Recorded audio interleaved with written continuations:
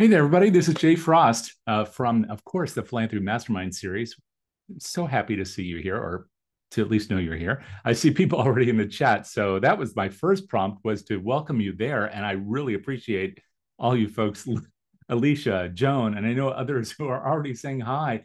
Uh, Karen and Jemima and Shaylee, and oh wow, this is really great. Thank you so much for warming that space up. This is really a space for you since we can't hear your voices or see your faces, this is the next best thing. And we really want you to be a part of the conversation today, um, which we're going to have with Emily Rasmussen. So uh, for that, um, uh, please do feel free to use the chat like you're already doing throughout today, but also the Q&A. That's another great place for you, especially if you want to ask something and be anonymized, if that's your thing. We'll be monitoring both those throughout today.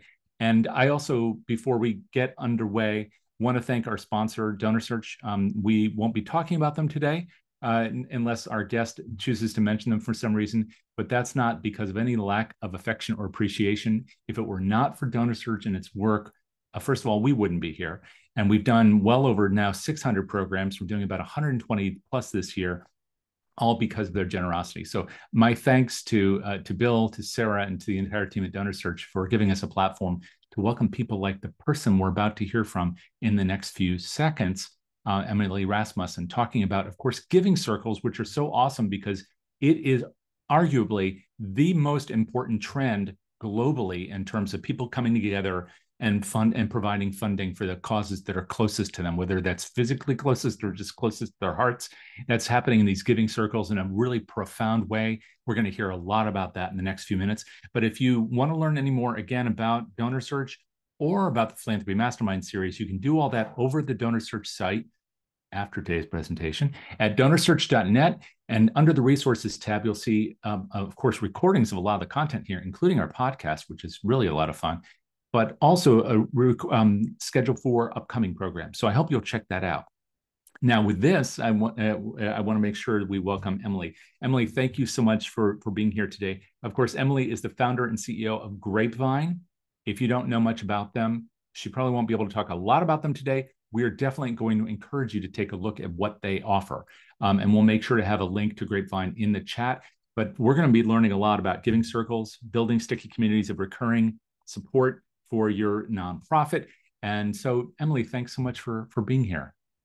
Thank you, Jay, for having me. Really appreciate the invitation. And thank you all in the chat. It's so fun to see where everyone is dialing in from. I always like to start calls with that prompt. So thank you for kicking us off and, and sharing.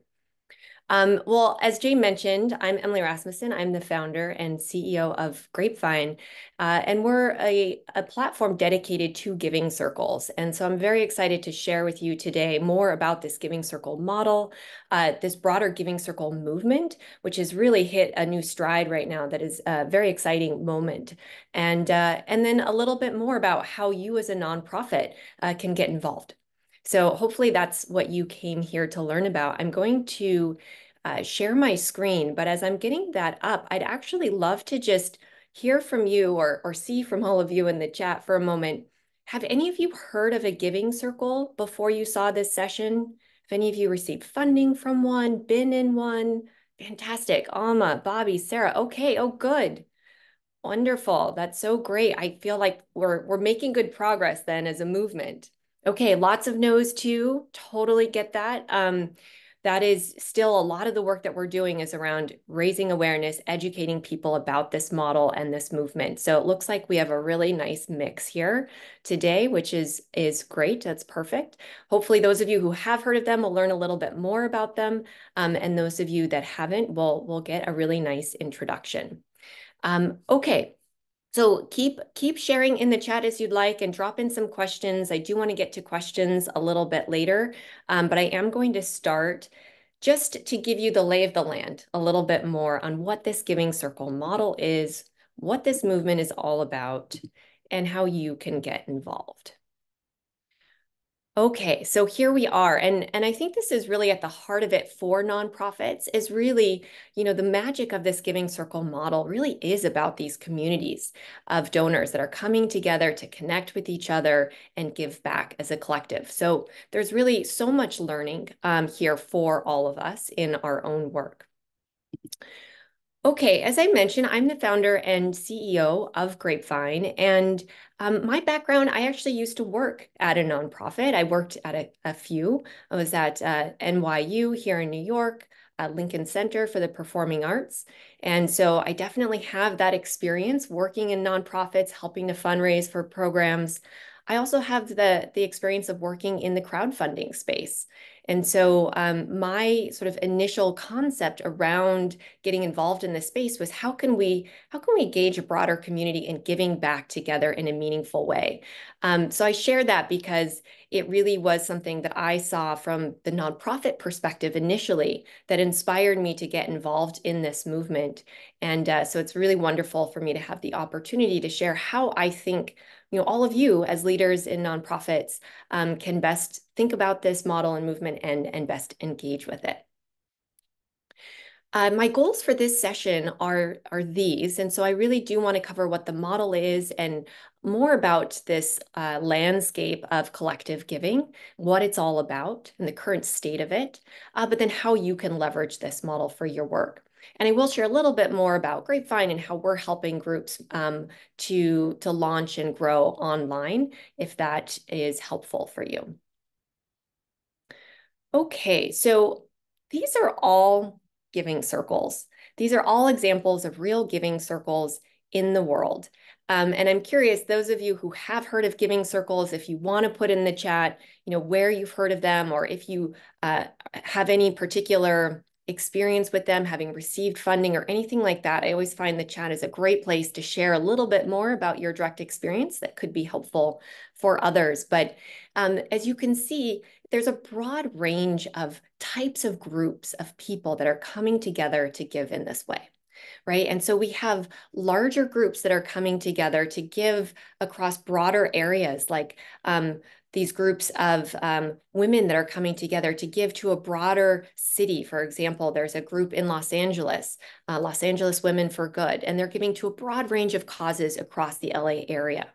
You have smaller groups, those connected to friends or families um, that are giving in a way that engages uh, an existing network, right? People they already know, they're able to connect more deeply together by aligning around uh, shared values and things that they care about and making a difference together. You also have groups that are giving to causes. So they're not location specific, um, like our LA um, group uh, of women, but they're more cause specific. So maybe it's a group coming together virtually, like this um, community here on the upper left, where they're pooling money and giving back to a cause like Healthy Oceans or um, uh, uh, Latinas supporting Latinas across the country, right? And that's another type of model too that we often see where members are coming together to connect with the other members because of a shared identity. So lots of different ways that people are coming together, lots of different types of groups. And I think what's exciting about this is it just shows that this is a model that resonates with a broad range of people, no matter who your affinity group or cause is. The most popular giving circle model that we know of in terms of how people come together and go through this process of deciding as a group where to give is this one. Um, and in this model, just to give you a very kind of clear sense of how these groups can work, 100 people come together and everyone pitches in $100. So now this giving circle has $10,000 that it is pooled to give away to a nonprofit. In this particular model, members will nominate nonprofits for the group to consider. And ultimately, three finalists will be presented to the group for a vote. Whichever one receives the most votes is the organization that gets that $10,000 check that quarter. And then the group does it all again three months later. So in this model, each member is essentially donating the cost of one lunch per month, right? But as a collective, they're donating more than $40,000 per year. So a really powerful model when you think about everyday donors, right? People giving uh, $100 at a time, uh, how much impact they can have. This is just one model of many though. There are giving circles that pool $10 a month, some that pool $10,000 per member per year.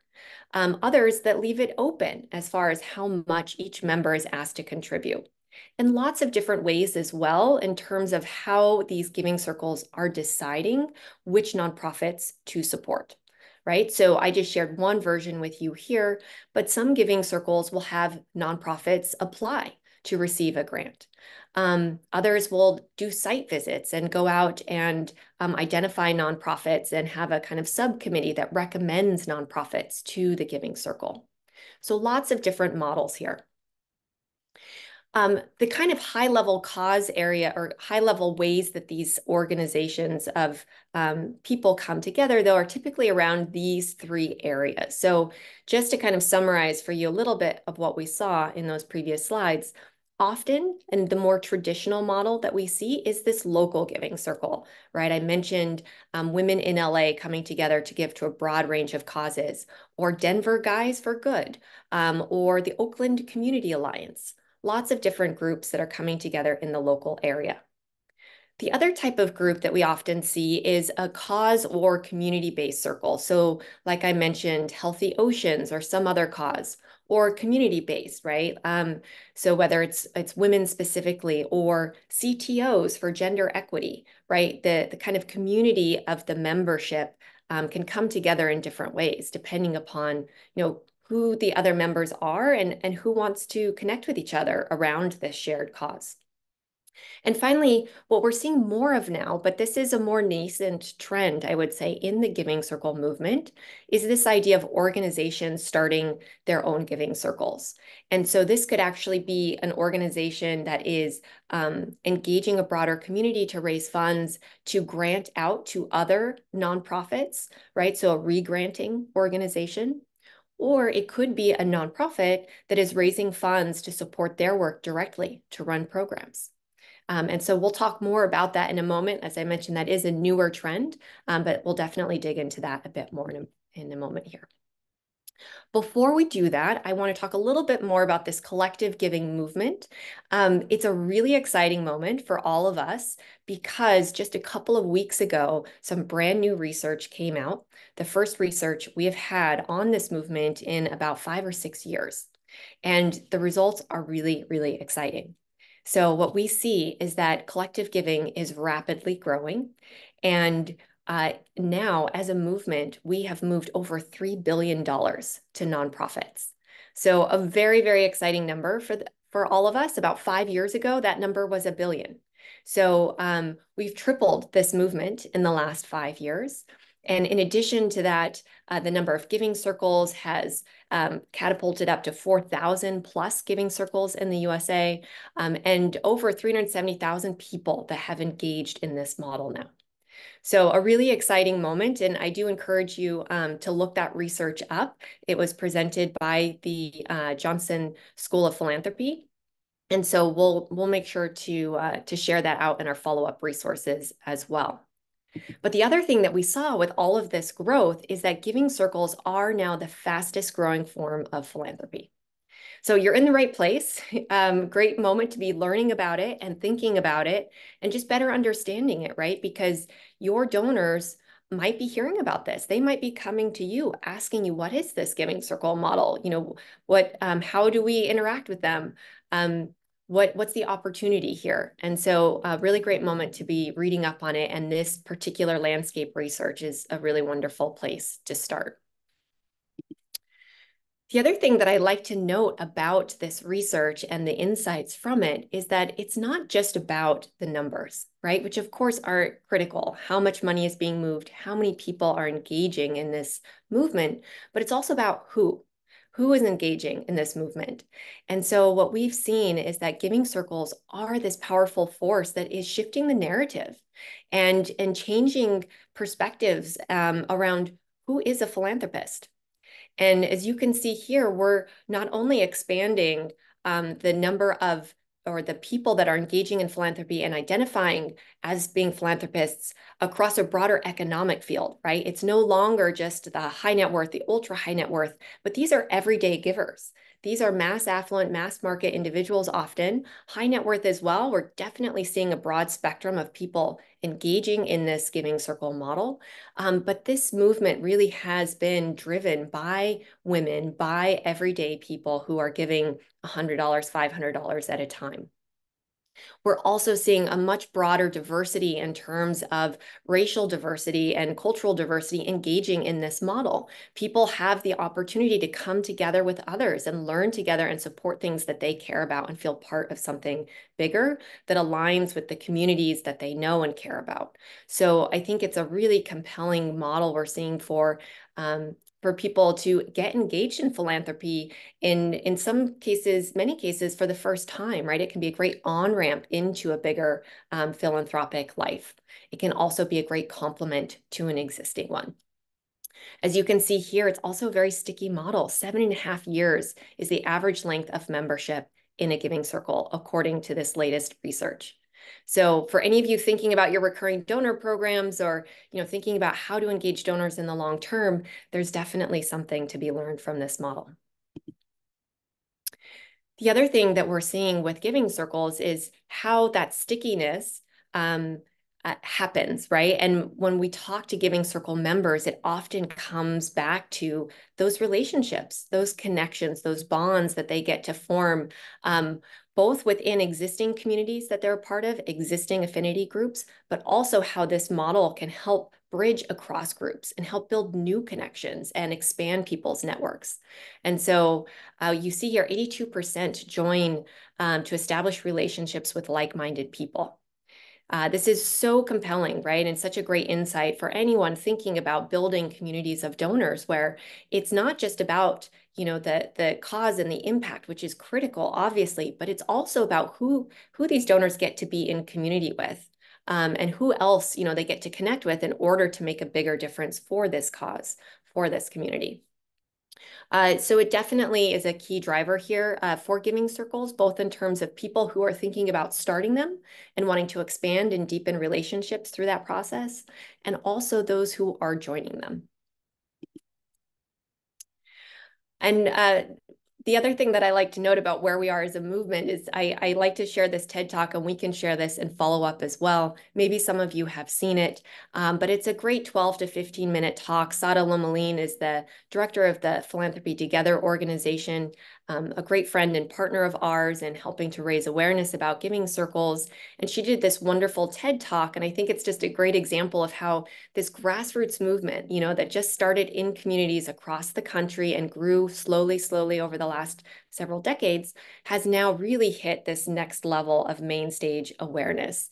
Um, and this is a really nice talk. I encourage any of you that have the extra time this weekend or week to check it out um, Sara does a really nice job of talking not only about the power of this collective giving movement, but also uh, about how that democratization is happening, um, the, the democratization and diversification of philanthropy, how that is not only affecting you know who's giving right? And who sees themselves as a philanthropist. But it's also actually helping to move money to a broader diversity of organizations.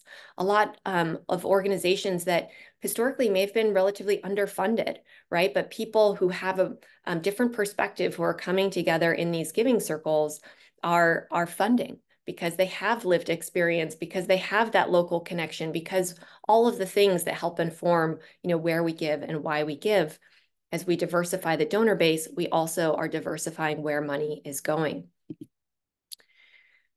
The last thing that I'll just note about this broader movement is that, uh, you know, as it's hitting this main stage awareness, it's also had this really incredible um, additional support now coming in from the biggest philanthropic players out there.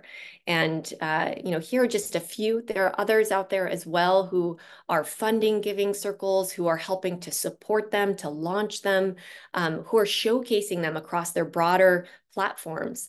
So lots of, of support behind this movement, lots of excitement around how it really is engaging donors in a way that, um, you know, is really exciting, I think, for all of us in this space, especially given some of the challenges um, in the nonprofit um, fundraising space that we've all been uh, reading about and, and uh, you know, um, experiencing in recent months or years, I should say. Okay, well, that leads me to um, this next session that I want to share a little bit more, next section I want to share a little bit more about, which is really, you know, how you can get involved and, and why, why you might want to leverage this model. Um, as I mentioned, you know, the way that I see this is that this is a really community-based model that is engaging people and um, building these sticky communities of recurring donors who want to make a difference. And I think at this moment in particular, right, we in the nonprofit sector are seeing some strong headwinds, and there's some troubling numbers here from attracting new donors um, to engaging those donors and retaining those donors. And so I think a lot of us are in a state of needing to explore and rethink things. Um, and so that's why I'm so happy you're all here today to learn more about this model, because I think there's so much for us to learn from it, to implement within our own organizations, and also for us to, you know, hopefully engage with in this broader movement um, in a way that can be valuable not only to our organizations and our work, but the broader field and how donors, um, the work that we're doing to connect with donors where they are today, right? Um, one big note on this is kind of bringing it back around to that idea of fostering that belonging and purpose, that sense of connection and community. I think all of us uh, who have engaged in fundraising, who have engaged in, in nonprofit uh, building know how important this is, right? To get people feeling connected, to go even beyond the mission to the movement, right? How do you get people to really buy in to this, um, to this organization, to this work that you're doing? And so much of that comes back to the sense of belonging, right? The sense of connection with your organization, your community, your um, your impact. And so uh, this is a, another slide from the landscape research. But as you see here, that sense of belonging to a community, right? That is top. 91% of members um, reported this as an impact of being in a collective giving group. So very uh, high percentage of people really are finding those other like-minded people and feeling connected to them.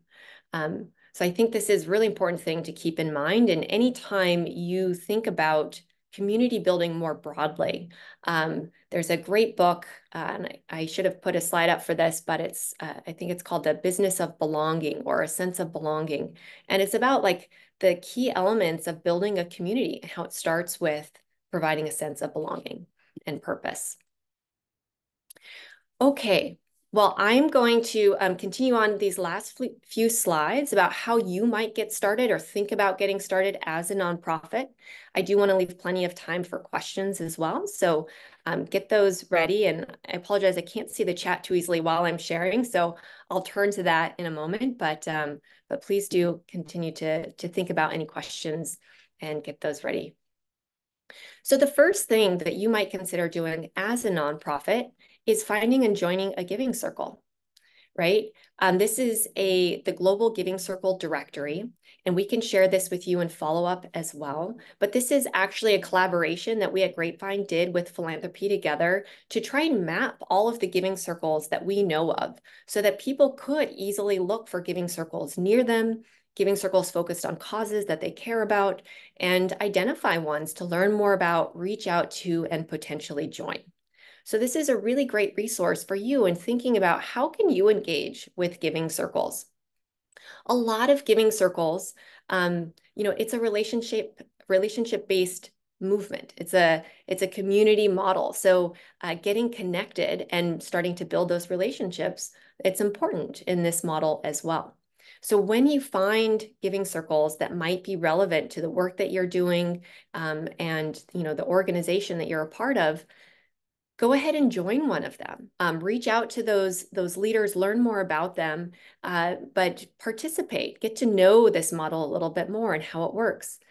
Uh, when you look up these, these giving circles in the directory, you can also learn more about their process for uh, identifying nonprofits. So as I mentioned earlier, that might be a members nominate and then vote process in which case, you know, you joining the Giving Circle or sharing it with other communities, other members of your community that are advocates of your work, um, who can participate and be a full participating member, but also, you know, share the great work that you're doing could be a really valuable way um, to potentially collaborate and partner with that Giving Circle and receive their, their future um, gift. Other groups will uh, share more with you if you reach out to them on their application process or, you know, whatever it is that they have. This is a great place to start to identify that shortlist and then figure out what the um, next step could be for, for you to um, connect with them. Once you're a member of those groups, like I said, you can not only nominate your non your nonprofit potentially, but also a lot of these groups are looking for other ways to engage. There's something called the five T's, right? I'm sure many, most of us on this call are familiar. So beyond treasure, ties, testimony, talent, time, right? All these other ways that donors can support your mission and make an impact together. And we often find giving circles are full of people really um, hungry for those opportunities. So a great place for you to share volunteer opportunities um, with them and um, start to develop those relationships directly with individual members that might lead to bigger opportunities with them down the line in terms of them becoming direct donors um, or volunteers of your organization. We've even seen many Giving Circle members go on to discover nonprofits in a group and then become board members of that nonprofit later on. So a really wonderful um, way to think about connecting with this community and starting to engage um, with, with the group, but also individual members. Uh, as I mentioned here, you know, beyond you potentially joining one of these giving circles, sharing the short list of groups that you think are really relevant to your work with your board members, with your volunteers, uh, asking them to join as well, right? Asking them to participate in this model if it resonates with them. What a great way for them to connect with other like-minded people and also get the opportunity to share more about your work, right? With a broader community of people. So a few different ways to think about that, but starting with that Global Giving Circle directory um, is a great place to, to get started. And um, the next kind of big uh, bucket for you to think about is whether starting a giving circle that directly supports your nonprofit is a path that you would like to go down. Uh, so this is different, right, from getting in front of existing giving circles. This is more about how can you leverage this model that is obviously engaging so many people and growing so quickly at this moment where people's tastes have changed, people's expectations have changed. So how do we build, uh, how do we connect with donors today? In a new way that resonates with them, right? Well, this is a great example of how we can do that. So we are now seeing nonprofits starting giving circles that directly support their work in order to expand uh, their donor bases, right? Not only in terms of expanding the number of donors that support their work, uh, but also expanding the diversity of donors that support their work, right? Getting a, a broader range of people involved in their movement. It's also a really great way to engage those donors, to raise awareness, to educate people about the causes that you're working on. You have a community, you have a place to communicate directly with them, right? It's a, it can be a really powerful way um, to, to uh, share more and educate your donors more on the importance of your work and, uh, you know, how else they could get involved, right? Back to the five T's. And then finally, to retain those donors. So we talked a moment ago about retention being down and that being a challenge. And what we know is that um, engagement is key to retention and people feeling part of something, people having that sense of belonging. And so this is a really great way to think about um, retaining those donors as well. I put this slide up here because I think often, you know, in our minds from the nonprofit perspective, we're thinking, okay, I have this donor program and I have this fundraising program and we have um, these team members focused on these things. And I think it's helpful to maybe put it in the context of what you're thinking about right now or might be thinking about um, in, you know, in the future and this year and where a giving circle could be a helpful model to consider. So if you have an underperforming recurring donor program, I can't tell you how many nonprofits have come to me saying, oh yeah, we have a recurring donor program, but no one's happy with it, right? The donors are not engaged, they're not sticking around. Um, so if you have an underperforming recurring donor program or young patrons council, uh, and you're trying to find a way to increase engagement and increase um, the kind of uh, you know the retention of these communities uh, but also the expansion of them and make it modern and make it kind of fun uh, this could be a great thing for you to consider. Think about structuring it more as a giving circle model Uh, if you want to launch a recurring donor program or Young Patrons Council, uh, or if you want to launch donor affinity groups, I see this especially in uh, some of the larger nonprofits, uh, universities, uh, those organizations where you're trying to help build um, connection and affinity across an existing affinity um, within your donor base. If you want to engage more women donors or next gen donors, these are two segments in the Giving Circle movement that are, are um, key to this overall movement. Women actually started the Giving Circle model. And even now, I think it's about 80% or so of Giving Circle members that we estimate are women. So this kind of collaborative, community-based way of connecting and giving back really appeals to women in particular. And it's uh, you know, it's not surprising when we look at some of the research around how women like to give, and it often is giving to a broader range of causes and um, and uh, giving collaboratively and socially.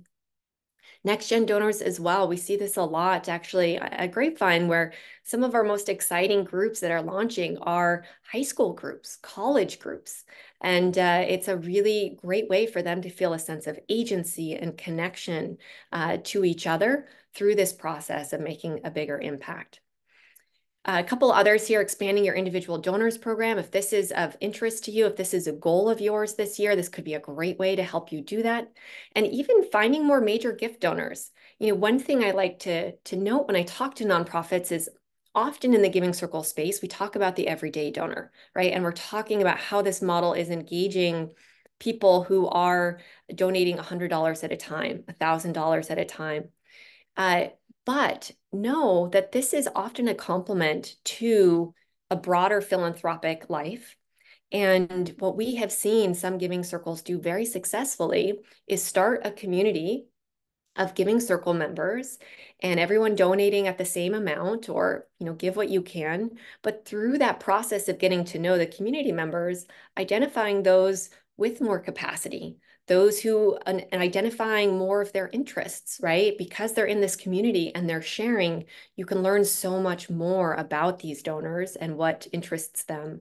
Um, and so it's a really great way to think about building a pipeline for your major gifts program um, in a really high value way. Okay i'm going to share a few examples with you and then i'm going to go um, to the chat here in a moment but uh, here's a here's a giving circle. This is actually a really exciting one. Uh, this was started by Edgar Villanueva and his his nonprofit group. They've raised over $9 million and built a community of more than 600 people um, through this program since launching in March of 2020. Uh, I think this is one of, uh, it's a very exciting model. He's been extremely successful with this group. What I will say about Liberated Capital is they're, they're an organization that does re-granting. So uh, the funds that they raise, they use some of those funds to fuel their work, but then they also grant funds on to federal tribes and other nonprofits across the country. Uh, so uh, I think what Edgar has been able to do is build a bigger community around his his cause, around his movement. Um, and engaged a broader range of people in giving back to Native American communities um, across the country by building this community and educating this community through his giving circle. So uh, he actually does not ask the members to nominate or vote on nonprofits. He doesn't ask the members to vote on which programs at his nonprofit the fund should go to. Um, many others do, but he he doesn't. He actually tells the group where funds are going and why. And um, while they don't have agency in deciding where funds go, they appreciate the opportunity to learn through him. And actually, um, one member suggested that they start a book club because a bunch of people were talking about his book and other books as they were trying to learn more. And uh, they launched a book club out of this giving circle. He invites them to um, uh, events all the time uh, that are learning events, educational opportunities around the cause. So a really wonderful way to show that he's been able to you know, really help educate more people on the importance of his cause while also raising funds from them to support it. Another example is this smaller organization, Positive Planet, who started a group to engage business leaders around their mission to support more diversity um, and um, support for small businesses. And so this uh, this nonprofit is having all the funds go to them uh, to support their programs, but they are asking the members to uh, help decide which of their programs their pooled fund, their pooled gift is going to support. So they're basically giving them the opportunity to have this gift be a directed gift, right? Um, instead of a general operating support. They're also, I think they've been really smart at thinking about who are the people who care about our mission? You know who are those primary donors that we know care about what we do? And which which segments of those like would want to come together and connect with each other as well as support our mission? And that's where this focus on business leaders came about. And because of this focus it's enabled them to do some really interesting things like they launched a mentorship program so that the business leaders in their giving circle can opt in to be a mentor of some of the small business founders that are getting some of their grants and ongoing support. Uh, they did a really wonderful briefing series of briefing sessions for new members into the Giving Circle, sharing more about their work and giving the members a chance to share about their experience and provide input and guidance as well. So a really um, a newer and smaller Giving Circle, but one that has really put uh, the community members and um, their engagement uh, and kind of at the heart of their overall uh, Giving Circle experience. And one last uh, one here, this is the Newman's Own Foundation Community Fund. And this one's interesting as well. This is um, a little bit different in that Newman's Own is connected to the broader Newman's Own company, and they have a broader community of people as a result of that, right, who know about their work. Uh, but in this model, Newman's Own actually put funding into the pool initially. They had some funding and uh, they asked their community to join the Giving Circle to help them decide where the funding should go. So this is a fun uh, kind of example of how you can turn it on its head a little bit. Uh, what they also did is they added a match so that anyone else who wanted to contribute into the pool could, and then that donation would be matched as well. Uh, so this Giving Circle launched at the end of last year, and they already have, I think, grown it to over 600 members in a very short period of time. And uh, they're looking to continue to grow that. And in the next round of, of um, granting, they're actually engaging the community and helping them to decide uh, where funds go as well. So a few different examples for you there on uh, direct nonprofit support, regranting, and uh, foundations. So a key part of all of this, as you can tell, is the community building, right? And how do you actually do that? I think often for nonprofits, we see that there's a really strong understanding of one-to-one relationship building, right? You know how to take a dinner to coffee or dinner, a donor to coffee or dinner. Um, you know how to engage with people and build those relationships, right? And learn about them. Uh, but the kind of the next level here, right, where we are encouraging people to go, where we're seeing a lot of excitement and engagement from donors, is this model of one to many community building, right? How do you connect with donors as a community, not just on a one to one level? And how do you help facilitate those donors to connect with each other? So that they're building this community. And ultimately, those donors then are building the stickiness of your community. So you don't have to do it all yourself right? That's the kind of scalable part of all of this. And so here's just a high level overview on how we uh, think about community engagement in that first year for some of these groups. This uh, has worked for many groups that are on a kind of quarterly uh, um, cadence. And so what we have seen is that in that first quarter, as you're just starting a group, uh, you can think about hosting, you know, introductory sessions, briefings, um, engaging those members as people are joining and welcoming welcoming them in, and really making them feel part of something, and even having a kind of kickoff event to really make everyone feel like, oh, we've officially launched, right? We're now part of this group. The second quarter can be uh, largely about continued engagement, right? So continuing to engage those members while they're excited, getting them involved, and encouraging them to invite others so much of the, the power of community building is also around those members feeling so connected and bought in that they think of someone else that also um, could be a part of this that they would like to invite in. It's very different, we have found, uh, asking donors to invite another donor in to join a community. than it is asking them to ask someone else to make a donation right it goes it, it moves beyond the transaction into the community it's it's more of an offering here's an opportunity to be part of something uh, the third quarter is uh, connections. So again, just in an example here of how you could think about structuring this, but uh, in, the, in this third quarter, it's about connecting those members to each other, right? So again, trying to move beyond you having to facilitate everything and uh, trying to get those members to connect with each other and build some of that stickiness directly. And then finally, on uh, focus on the impact, right? So, okay, we've come together, we've connected, we've we've thought through what we want to support, and now let's focus on the impact we've been able to have together. And whether that is a um, you know an opportunity for your donors to help decide where the funds go within your nonprofit, or it's just an opportunity for you to share where funds have gone and the impact that they've had, right? Bringing it back around to that overall impact and what you've been able to accomplish together as a group is really powerful. So I will just take this moment to say we have a more detailed donor community engagement plan, uh, a, a, kind of template that any of you could take and use as you would like. Um, and so uh, if you're interested in that, you can go ahead and email me at partnerships at grapevine.org and I'm happy to send that to you. Um, we'll also be sending these materials in follow-up as well. Okay, and the last little bit I just want to share, as I mentioned, Grapevine is the only platform dedicated to giving circles. And as a result of that, we have now um, helped to launch and support over 1,100 active groups on the platform. We have more than 70,000 members in these groups. And together, this community has moved almost $35 million to thousands of nonprofits across the country. We actually have groups in every state across the country.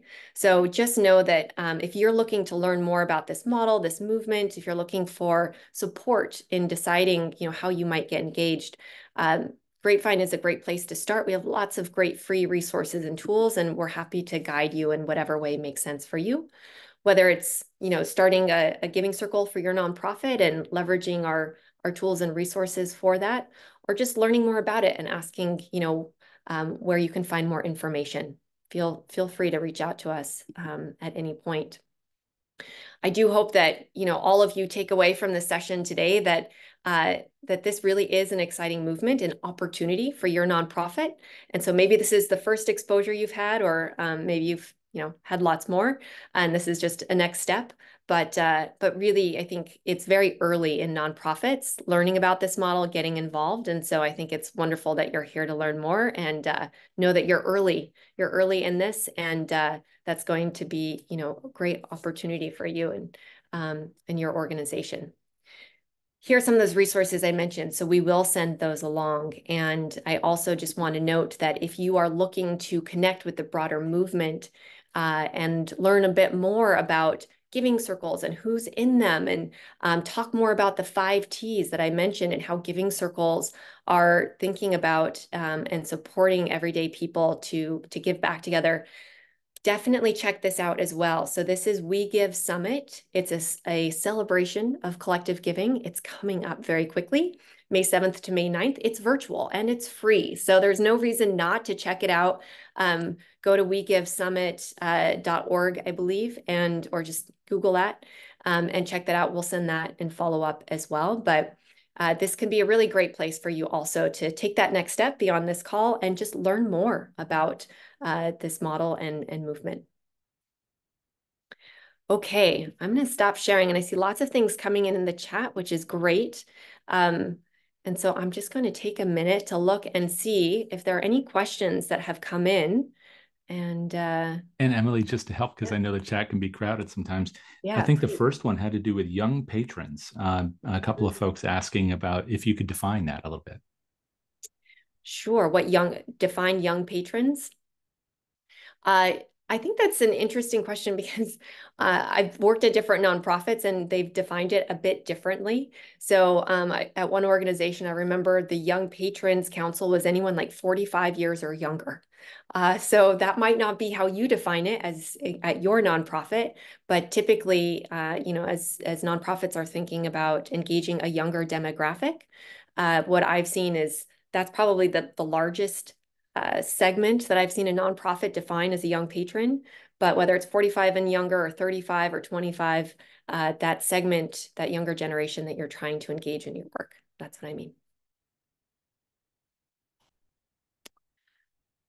Okay.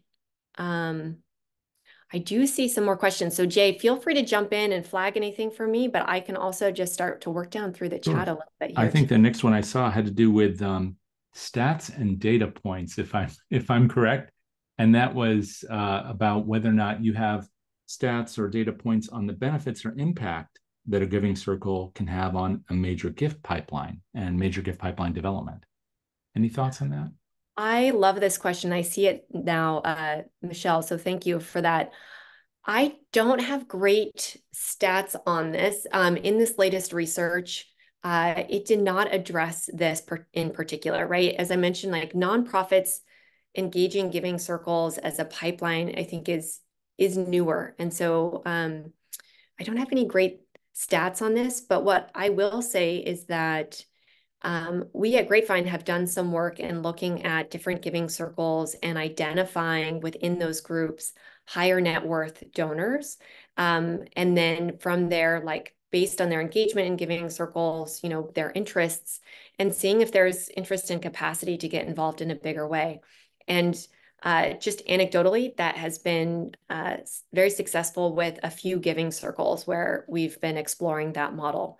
And so I think if you were to think about any any giving circle as a as a community of donors, just like you would, you know, any other community of donors, what would you do as a next step if you were a major gifts person, right? You'd be like, oh, let's find out information about them. Let's find out what they care about. Let's find out if they um, have capacity beyond their contribution to this thing.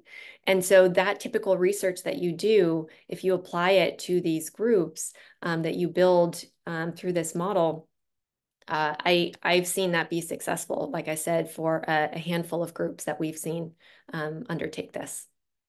But a great point. I think there's more research to be done on this and hopefully some more case studies. So if any of you get involved in this space and you have information to share, please do, because I think that could be helpful for others. I did see that I missed something in the Q and A as well. Do you see that one there? It's um, about people who have a circle and uh, and then whether or not they're they're listed in the directory. Yes. Okay. So I see it now. Thank you. Uh, but as an independent C3 dedicated philanthropy, we did not need to run it via Grapevine. Great. Yeah. And just so you know, I mean, we we host, as I said, over 1,100 groups, but there are, like I mentioned, 4,000 groups that we've mapped, right, in the global directory. So lots of different ways that you can run these groups um, separate from the platform. Uh, there is a place, uh, whoever posted this, and for anyone else, if you're in a giving circle or connected to one, you can add it to the directory without having to be on Grapevine. So if you go to, uh, you can go to grapevine.org and in the resources section uh, on the top menu, there is the Global Giving Circle directory is linked there. If you go in, there's directions there on how to add your giving circle. And please do, because that is a, a wonderful resource for anyone looking to find groups and join them. And we actually have an embeddable version of it that is now on the Charity Navigator website, the Global Impact and Giving Compass websites, and more. So um, you definitely want your group listed in there because you might get some great new members through all of those um, through all of those placements on those other platforms. And then the next one I see is uh, from Jemima, who had asked about uh, how um, how you, one encourages these donors to give both uh, to the other nonprofits chosen by the Giving Circle as well as to your own. I can imagine this is on a lot of people's minds. And then also, do uh, organizations see any drop in the dollar amounts that the donor is giving individually to the original nonprofit? Mm. Right. Yeah. I think there's always this kind of question, you know, am I going to be cannibalizing gifts, that kind of thing.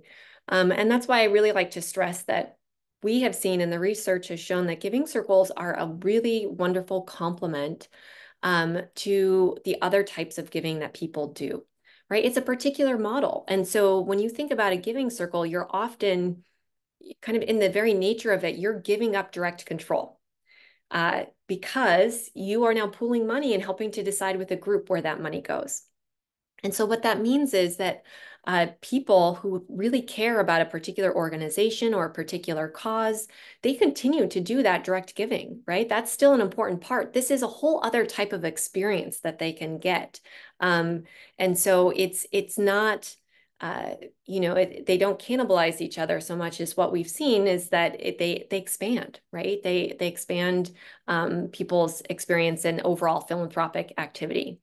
And so, uh, as far as donors giving to to other nonprofits chosen by the Giving Circle as well as to their own nonprofit, yeah, I mean, like I said, we what we see is this becomes a great community, a, a, sharing space where if people come into a giving circle and they have a nonprofit they care about, what a wonderful opportunity for them to share this cause that they know is important and this nonprofit that they know is doing great work with this broader community of people that want to make a big impact, right? And so actually one of the three top top three reasons that we see people joining giving circles on Grapevine when we ask them, and we've asked tens of thousands of people now who have joined these groups, why are you joining this group? Um, there are three main reasons that people join these groups. The first one is um, to make connections, right? Connecting with like-minded people, just like we saw in the slides um, earlier. People want to connect with other people. It's it's really powerful, and I think especially we're in this moment in in time that is just unique, right? Where we've come out of COVID, a lot of people moved. I hear that so often. People haven't built those local connections yet. People, their work has gone online. So now they, they don't have that office interaction anymore. Uh, lots of reasons that people are looking to make connections. I mean, keep in mind, we're also amidst a loneliness epidemic. So what a powerful, meaningful way to build those connections. The second one is uh, is impact, right? I want to amplify my impact. So just the math of it, $100, 100 people, that's $10,000. When we talk to people about those gifts, they feel such a sense of connection to it. That was a $10,000 gift that I was a part of, right? I helped to build that playground. I helped to do this. Like there's such connection to that impact. And so there's, it's just very tangible. Um, and then the third thing is I want to, um, what's the word I'm looking for? Uh, basically, people want to share. People want to um, increase their own impact by sharing the causes and nonprofits that they care about with a broader community. So how powerful is that for me? If I know this organization is doing great work, I can now bring it to a community and now I can get a hundred people to support it all at once right? So there's a, a real um, power in that for donors where they want to bring it into the community, but there's, you know, that learning opportunity for them too, to learn what other people care about and support that and be part of a bigger kind of a bigger um, pool of impact, if you will, um, or portfolio of impact, maybe I should put it. And uh, it, I don't think it takes away from those direct donations, but really just gives them an opportunity to um, double down on the impact they can have for that particular organization through this community. Okay, and I do see another The last one. one I see here yeah. is is that one about um, if the giving circles need to be 501c3s. So that's a great question. Um, so what I'll say is on the you you don't have to be a 501c3, but it depends on what your goal is, what you're trying to accomplish. Most giving circles have um, either become their own 501c3s because they got quite large and they needed to pool all this money, or um, they worked with a community foundation or they work with Grapevine, right? All of these are ways where you can have a C3 um, on the back end, and that enables you to pool donations and those donors to get that charitable tax deduction, and then have just the one larger uh, check go to each nonprofit. Um, so that is one way to think about it, right? Is that you it's essentially like a fiscal sponsor or DAF sponsorship model typically is is what we've seen. Um, so no reason for you to go create your own, but some of those bigger ones we have seen do that. And in fact, some of those have gone on to become women's funds and community foundations, right? You think about it like this is the kind of most community-based version of that. And some grow up to be quite big. So there's there's been so much growth in this area and you've witnessed a lot of them participate in a lot of it because of your all the work that you've done through grapevine um, what's been the biggest surprise Oh, such a good question. Um, I think the biggest surprise, honestly, I, I, because I believed in this movement and I see it growing and it just is kind of, you know, it's doing all the things that I think those of us in it for a long time have said it's doing. And we're so excited to now have the data showing it's doing it.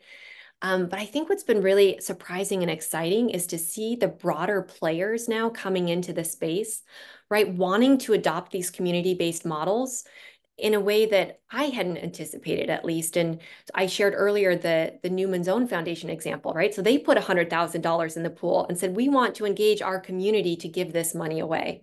I've had other corporate foundations come to me with the same thing. I've had other um, companies and foundations come to us and say, we want to uh, give you $100,000 in funds to match donations from Giving Circles right? So what a wonderful way to amplify the impact of all of these groups. If your group's pooling $10,000 to give away, imagine now if we were able to add $10,000 to that gift and now it's $20,000 because we got a matching gift from a company or a foundation. So those are the types of things that um, we've started to see coming into this space now, I think as more awareness is growing around it. Um, and I just, yeah, I guess that's been a bit surprising to see all of the interest around it. And I'm just really excited about where that's where that can lead for all of us. Yeah, it sounds like it's almost an antidote to the uh, the bowling alone problem, where yeah. more and more people were doing their own thing, and then they they woke up and said, "Wait a minute, where where did everybody go?" And this is a place for them to get together again. So that's pretty extraordinary. I think you're right. I, yeah, that's such a great point, and I, I think um, we're just we're not only seeing people wanting to connect with each other through this model, but we're seeing, you know, these existing players want to be a part of that I like to say I, I see a future now where corporate foundations are going to become community foundations you know? And and i think newman's own foundation and some of these others that we're seeing we're talking to now they they see that. They want to engage with the community. Um, so i think all of us in the nonprofit space whether you're at a foundation or just in a nonprofit how can you take your model and turn it into a community model? Um, and whether it's a giving circle starting one or not i just think there's so much great learning here um, that you can bring back to your organization. Yeah, um, seems to humanize everything. Uh, mm-hmm. thank you so much for for all of this. Uh, and w- once again, if you don't mind, just saying how it's best for people to follow and reach you, just so they can hear it as well. Oh yeah, please. Uh, so you can you can reach us at grapevine.org org, and um, I LinkedIn is my favorite social channel, so you'll find me active there. Emily Rasmussen, uh, Grapevine on LinkedIn. So please do connect with me there, and um, and you are most welcome to email me directly. Uh, partnerships at grapevine.org. Uh, that email goes straight to me. So if you want any of the resources or have questions, want to chat more, yeah, please do email me, and I'd I'd love to be in touch. Thank you very much, Emily. And I also want to uh, call attention to something we mentioned in the chat, which is that there will be an email follow up.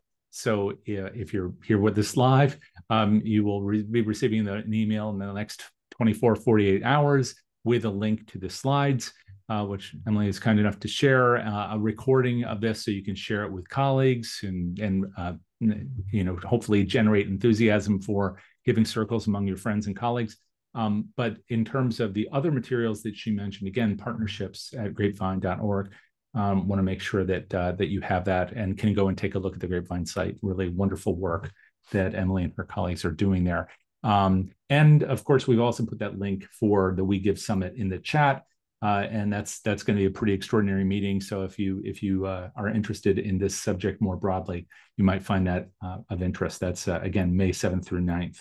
Um, I also want to um, encourage everybody, if you don't already know this, to join us on Thursday. We have a session coming up with someone who's been very popular in this series, uh, Emily Markuson Tolmie, um, who's over at Skidmore, and her and a colleague in the industry, Cora Burns, who's at Cornell. They're going to be joining us to talk about empowering philanthropy, the dynamic duo of prospect research and parent fundraising.